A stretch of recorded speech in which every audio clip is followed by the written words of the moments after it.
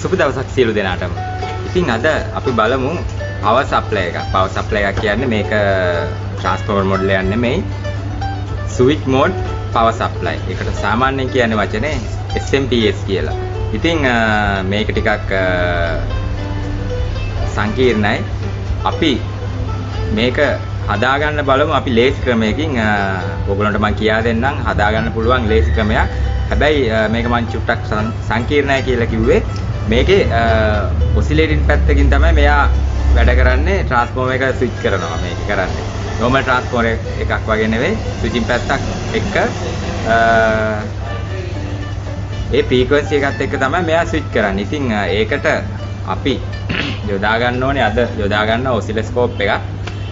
ටෙජ්ජයක් හැදෙන නිසා ඉතින් මේවා කරන්න ගොඩාක් අය බයයි. හැබැයි මේකේ බය නැති විදිහට කරගන්න තමයි මම අද ඕගොල්ලන්ට කියා දෙන්නේ. අපි කොම්පොනන්ට් එකක් දාන්න කලින් ඒ ටික ඒ වටේ තියෙන ටිකයි එතෙන්ට එන සිග්නල් එකයි අනිවාර්යයෙන්ම චෙක් කරගන්න ඕනේ. නැති වුණොත් තමයි ওই පුපුරලා ගිනි අරන් මේව හදන්න බැරි වෙන්න මානසිකත්වයක් බීම වැටලා මේක හදන්න බෑ කියන මට්ටමට එන්න ඕගොල්ලන්ට මනස හැදෙන්න ඒ නිසා. ඉතින් අනිවාර්යෙන් අලුතෙන්ම ට්‍රැක් එකක් කියලා හිතන්න අපි FPT එකක් හරි ඒක දාන්න කලින් අපි බලන්න ඕනේ ඒක ගේට් එකට මොන සිග්නල් එක දෙන්න කියලා. ගොඩාක් හයි වෙලා තිබුණොත් පීක් වෙන අවස්ථාවේදී අපි දාන දාන FPT අපි හිතමු 100ක් දැම්ම කියලා 100ෙම පිච්චෙනවා. දාපු ගමන් පුරලා යනවා. ඉතින් ඒ අවස්ථාව නැති කරගන්න තමයි අපි චෙක් කරගෙන ඉවර වෙලා FPT එක දාන්න ඕනේ. දාන්න කලින් ඔසිලොස්කෝප් එකක් කරහා මොකද්ද මේ එන සිග්නල් එක කියලා හරි විදියට දැනගන්න ඕනේ. ගොඩාක් අය අද මේ රිපෙයාර් එක කරගන්න බැරුව අසරණ වෙලා ඉන්නේ.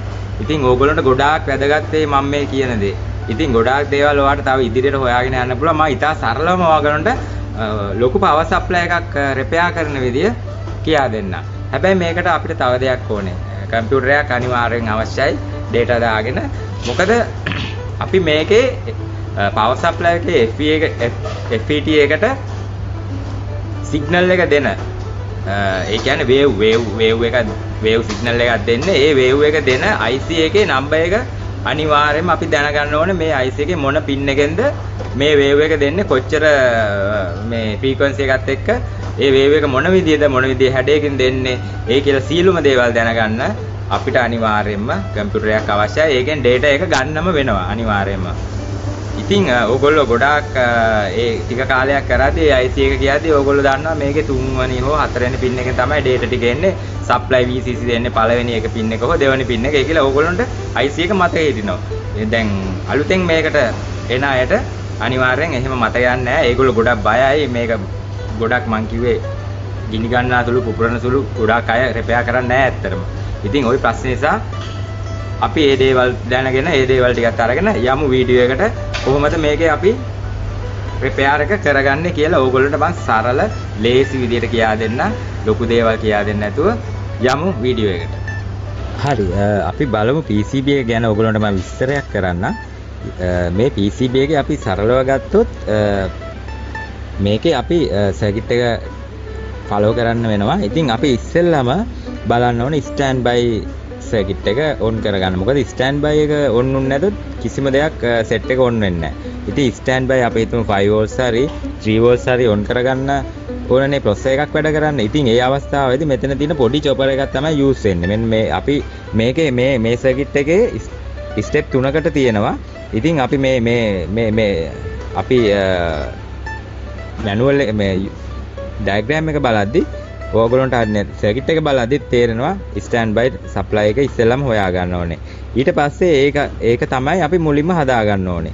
හරි අපි යමු වීඩියෝ එකට මේකේ ස්ටෑන්ඩ් බයි IC එක මොකද්ද ස්විච් කරන්නේ මොකද්ද ෆ්‍රීකවන්සි එක කියලා ඒ විදිහට අපි මුලින්දලා යමු.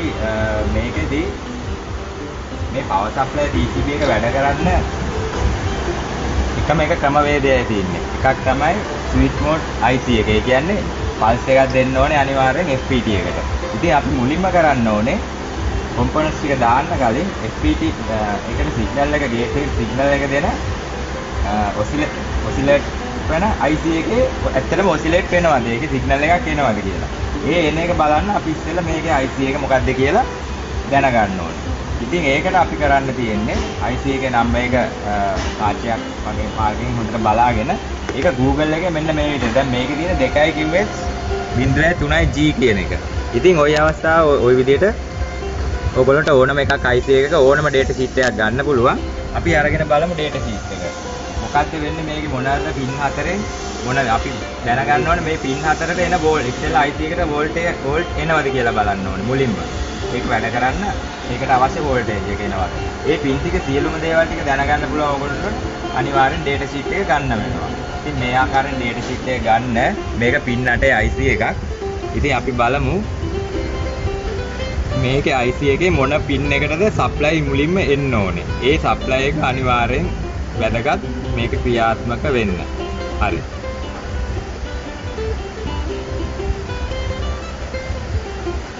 මේ තියෙන්නේ IC එකට එන්න ඕන විස්තර සියලුම දේවල් තියෙන මෙතෙන්ට මේක ඍණ මේක ධන. ඒ කියන්නේ මේ IC එක වැඩ කරන්න අවශ්‍ය වෝල්ටේජ් එක මේ දෙකට අනිවාර්යෙන් ලැබෙන්න ඕනේ. ඊට පස්සේ තමයි මේ ගේට් කියලා දාලා තින්නේ SPT එක ගේට් එකට සිග්නල් එක යන්න ඕන පාත් එක. ওই තුනේ ඉතා වැදගත්. ෆීඩ්බැක් එකත් වැදගත්. ඉතින් අපි බලමු මොකද්ද මේ ගේට් එකට එන්න ඕන සිග්නල් එක කියලා. ඒක බලන්න සාමාන්‍යයෙන් ඔසිලොස්කෝප් එකක් මේ වගේ අවශ්‍ය වෙනවා. ඉතින් ඕගොල්ලොන්ට පවර් සප්ලයි එකක් හරි විදියට හොඳ පවර් සප්ලයි එකක් ලොකු පවර් සප්ලයි එකක් කිසිම දෙයකට බය වෙන්න එපා මේවා පුපුරලා ගෙනි අරගෙන යන්න හේතුව නොදැනුවත්කමින් අපි IC රික්වෙස්ට් කරනවා SPT දානවා. ඔක්කොටම කලින් බලන්න ඕනේ. මෙන්න මේ සිග්නල් එක මොකක්ද එන්නේ? මේක හයිම වෙලා තියෙනවද? මේක සර්කල් එක හැදෙනවද කියලා අනිවාර්යෙන් බලලා තමයි කොම්පොනන්ට් එක PCB එකට දාන්න ඕනේ. ගොඩක් අය ඒව මොකුත් දන්නේ නැති නිසා ඔය දානවා IC දාපුවා මේක පුපුරලා ගෙනින්න ආසල් යනවා ඊට පස්සේ බෑ කියලා අතාරිනවා. ඕක තමයි ප්‍රධානම ගැටලුව. මේ PCB ඕන එකක් හදන්න පුළුවන්. හරි අපි බලමු කොහොමද ඒක කරන්න කියලා. අපි මෙතනින් සප්ලයි එකක් ඉස්සර PCB එකට දෙනවා. දැන් මේ PCB එක ඇත්තටම වැඩ කරන තත්ත්වයේ PCB එකක්. ඉතින් අපි මේකේ රිපෙයාර් එකක් කරා වැඩ කරන්න කලින් අපි ඉස්සෙල්ලම බැලුවේ IC එකේ කොහොමද ගේට් එකට සිග්නල් එක එනවද කියලා. හරි අපි බලමු කොහොමද ලේසි විදියට ක්‍රමේ මම ඔසිලොස්කෝප් එක ගැන ඔයගොල්ලන්ට පොඩ්ඩක් කියා දෙන්න. ඔසිලොස්කෝප් එකක් ඉස්සෙල්ලම අපිට පුළුවන් මෙතෙන්ට මෙතෙන්ට මේ සිග්නල් එක දීලා මේක කැලිබ්‍රේට් කරගන්න. දැන් අපි ඒක කැලිබ්‍රේට් කරගෙන තියෙන්නේ ඒ නිසා ගැටලුවක් නැහැ. මෙතන සර්කල් එක තියෙන්නේ ඔයගොල්ලන්ට මේ සර්කල් එක එනවා මේ කැලිබ්‍රේට් කරද්දි. ඒක අනිවාර්යෙන් මුලින්ම කරගන්න මීටරේ යථා තත්ත්වයට හදා ගන්න ඕනේ. එතන මෙතන වෝල්ට් 30කට අපි දාගත්තේ ඒ මොකද ස්කේල් එක අඩු වුණොත් අපිට මේකේන ලොකු වෝල්ටේජ් එක පෙන්වන්නේ නැහැ. ඉතින් අපි මේකේ උඩරිම තියෙන 20 අපි මේක වෝල්ට් 20කට දාගත්තා.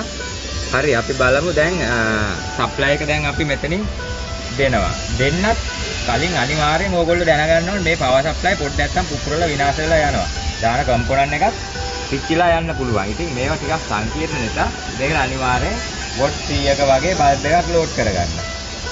අනිවාර්යෙන් ඒක වැදගත්. මෙහි මොකක් හරි ප්‍රශ්නයක් තිබුණොත් මෙයා බල්බ් එක ලෝඩ් කරගෙන ඒ කෑල්ල ආරක්ෂා කරනවා. එහෙම නොකරොත් ඒ කෑල්ලත් පුපුරලා තියෙන අයිසිස් ටික යන්න පුළුවන්. ඒක නිසා අනිවාර්යෙන් වැදගත් මේ විදිහට සීරියස් කරලා දාගන්න. හරි. අපි පවර් ඔෆ් කර ඔන් කරද්දී අර එළියක් ඇවිල්ලා යන්න ඕනේ. එළිය තියෙන්න බෑ. එළිය දිගටම තියුණොත් පත් වෙලා තියුණොත් සර්කිට් එකේ දෝෂයක්. ඒ දෝෂය නිසා ඒ ලෝඩ් එක බල්බ් එකෙන් අර ගන්න. දැන් මේකේ පත් වෙලා යනවා කියන්නේ මුලින්ම පත් වෙලා යන්න හේතුව මේ කැපැසිටර් එක charge කරගන්න ඒ ඇම්පියර් එක තමයි මෙයා පත් වෙලා යන්නේ. දැන් සර්කිට් එක ඔන් තත්ත්වයේ තියෙන්නේ. හරි. අපි බලමු දැන් මේකේ ඩිජිටල් මේ අපි මීටරෙන් බලමු මේකේ ඇත්තටම සප්ලයි එක හැදෙනවද කියලා. ග්‍රවුන්ඩ් කරගත්තා. මේක DC වලට දාගත්තා. බැලුවා. මේකේ වෝල්ට් 13ක් දශම 4.2ක් එනවා. ඒ කියන්නේ මේකේ ස්ටෑන්ඩ් බයි පැත්ත වැඩ. අනිවාර්යෙන් සෙට් එකක් ඔන් කරන්න කලින් ස්ටෑන්ඩ් බයි සප්ලයි තියෙන්නම ඕනේ. හරි. එතකොට මේ අවස්ථාවේදී අපි බලන්න ඕනේ මේකේ මොකද්ද මේ IFTT එක වැඩ කරන අවස්ථාවේ මොකද්ද එන සිග්නල් එක කියලා. සාමාන්‍යයෙන් මේක මේකේ දැන් ඔයාට එක සැරේටම බැලුවම පේන්නේ නැහැ. පොඩ්ඩක් සර්කිට් එක ෆලෝ කරලා ඔයා ගන්න ඕනේ මේකේ FPT එකේ ගේට් එකට එන සිග්නල් එක මොකද්ද කියලා. හරි. අපි ඒ විදිහට බැලුවම මෙන්න මේ ආකාරයෙන් ගේට් එකට සිග්නල් එකක් එන්නම ඕනේ. ඒ සිග්නල් එකෙන් තමයි මෙයා FPT එක වැඩ කරන්නේ. මේ FPT එකට එන ගේට් සිග්නල් එක.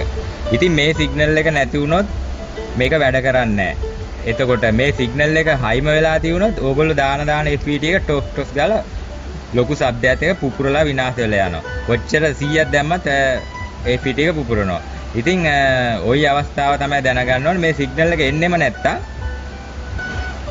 එන්නෙම නැත්තම් වැඩ කරන්නෙම නැහැ. මේක ඩෙඩ් තනි කර. ඉතින් අනිවාර්යෙන් මේ IC එකෙන් එන මෙතන තියෙන මේ ගේට් සිග්නල් එක අනිවාර්යෙන් එන්න ඕගොල්ලෝ බලා ගන්න ඕනේ. මම ගොඩාක් සරලව කියා දෙන්නේ ඕගොල්ලන්ට. ගොඩාක් දුර කියා දෙන්න යන්නේ නැහැ. එතකොට ඕගොල්ලන්ට ගොඩක් හිතා ගන්න අමාරුයි. ඕක තමයි සරලම විදිය. ඉතින් අපිට මේක පාවිච්චි කරන FPT එක මොකද්ද? අපි බලන්න ඕනේ FPT එකත් මේකෙන් අපි data sheet එකෙන් අරගෙන බලන්න පුළුවන් FPT එක. සාමාන්‍යයෙන් කලින් විදිහට මේ තියෙන FPT එකේ විස්තර ටික ඔක්කොම තියෙන ඕගොල්ලොන්ට. ඒ වෝල්ට් වෝල්ට් කොච්චරද, ඇම්පියර් කොච්චරද කියලා ඕගොල්ලන්ට හැම දෙයක්ම ඩීටේල්ස් ටික දැනගන්න පුළුවන්. ඉතින් සරලව කිව්වොත් ඔන්න ඔය ටික අපි දැනගන්න ඕනේ ඔසිලොස්කෝප් එකක් භාවිතා කරගෙන මේ විදිහට චෙක් කරගන්න. මේ විදිහට චෙක් කරගත්තට පස්සේ කිසිම ගැටලුවක් නැහැ අපිට සර්කිට් එක හදාගන්න පුළුවන්. එහෙනම් ඉතින් සියලු දෙනාටම ගොඩක් ස්තුතියි. අපි ඊළඟ වීඩියෝ එකේදී මීට වැඩි දෙයක් අපි බලමු රිපෙයාර් කරගන්න බැරිම අවස්ථාවේ තියෙන ගැටලු අපි කොහොමද ලේසියෙන් කරගන්නේ කියලා පවර් සප්ලයි එකක් ඔරිජිනල් විදිහට හදාගන්න පුළුවන් හදාගන්න බෑ කියන ඕනම එකක් හදාගන්න පුළුවන් මේ ආකාරයෙන් ගියොත්. මොකද අපිට කොම්පොනන්ට්ස් එකින් එක චෙක් කරලා දැම්මට වැඩක් නැහැ. ඒ කොම්පොනන්ට් එකේ ඒ IC එකේ වෙන්න කාර්ය වෙන්නේ නැත්තම්.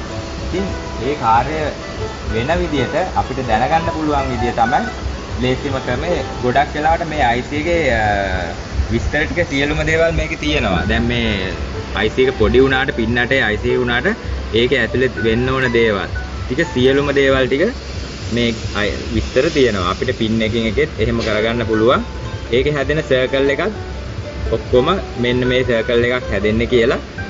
මේ තියන්නේ අපි චෙක් කරපු සර්කල් එක. ටයිම් එකත් එක්ක. ওই සර්කල් එක එන්නම ඕනේ YC එකේ. ඒක આવොත් තමයි සර්කිට් එක වැඩ කරන්නේ. හරි ඉතින් දැන් අර ඉස්සර වගේ ට්‍රාන්ස්ෆෝර්මර් මොඩල් නෙවෙයි නිසා මේක SMPS නිසා දැන් ඉස්සරහට දිගටම එන්නේ SMPS. මොකද හේතුව කාර්යක්ෂමතාවය වැඩි අඩු ඇම්පියර් එකක් ලොකු ඇම්පියර් එකක් ගන්න පුළුවන් පොඩි ට්‍රාන්ස්ෆෝමර් එකකින්. ඉතින් මේක තමයි දැන්ට දැන් ඉස්සරහට ඇත්තටම ට්‍රාන්ස්ෆෝමර් යූස් වෙනවා අඩුයි. මේක තමයි අපි රිපෙයාර් කරගන්න ඉගෙන ගන්න ඕනේ. හරි විදිහට අපි මේ විදිහට යන් ඊළඟ වීඩියෝ එකේදී හම්බෙමු. එහෙනම් සියලු දෙනාටම සුබ දවසක්.